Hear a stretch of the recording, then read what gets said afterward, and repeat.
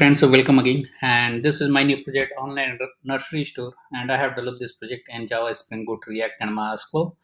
So for Spring Boot version, I'm using Spring Boot version 2.1.6 release and Spring, and we have used STS Spring Boot tool for writing the Spring Boot application. For React JS, we have used the Visual Studio Code for writing, for developing the React application, and the, for MySQL, we are using the XAMPP server for using the MySQL uh, interface for performing a type of operation in the database, right? For ports, we are using port 8080 for running the Spring Boot application and port 3000 for running the React.js application, right? So these all uh, technology stacks and things we are using for developing this project online nursery store. So let's start with the features and functionalities and modules of this project that what are the features available what are the modules available right? So this is a mini project which has only and only customer panel. There is no admin panel inside this project right? But if you need the admin panel then you can comment on the video. We will try to develop or integrate the admin panel on this project right? So once you run this project you will get this home page you can see this is the home page. And there are some categories are coming on the home page. These categories are coming through the api spring boot api right? And and if you click on any category then you will be able to see all of the product which belongs to that category right? So this is the home page right? And we are running using 3000 on it.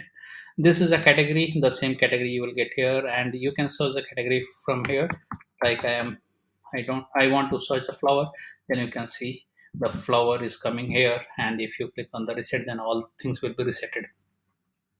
This is the all products all of the products which is available in the database will be available will be displayed here. There are nine products we have added right? But if you want to add more you can add directly from the php myadmin right?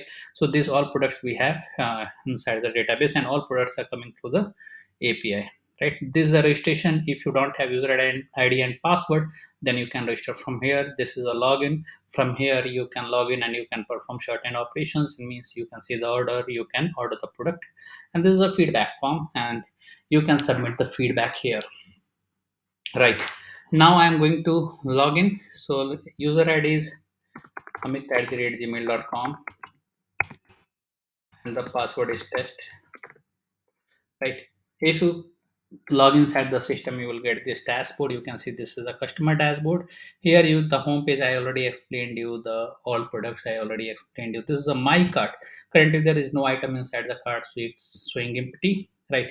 Here the my orders you will be able to see all of the orders which you placed earlier. If you want to see the details of any order just click on that uh, arrow icon. You will be able to see the whole details. Mean when you uh, order date what is the total amount what are the product you bought these all order items is displaying here. This is the feedback form. Again i have already explained this is my account section.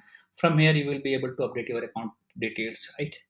Now i am going to order some of the product some of the uh, plants right? So all products.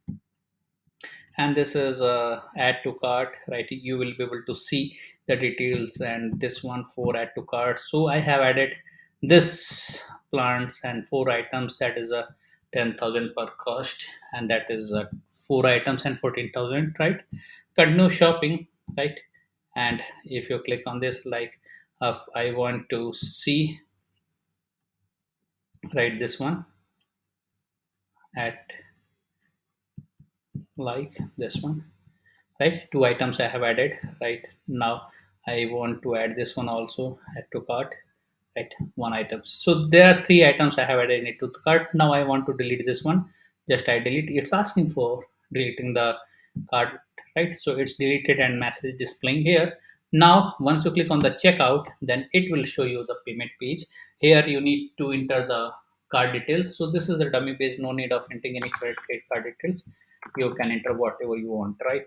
You can select a card type here and the year month and the submit right? So you can see this order number 393 has been generated and this whole details will be saved inside your order history right? You can go in the my orders and you will be able to see 393 here and once you click on this arrow icon you will be able to see the details of your order right?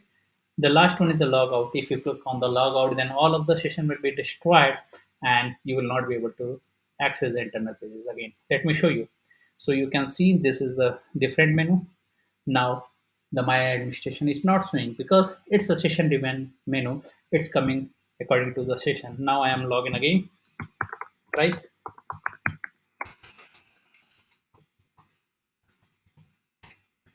And then test. Submit.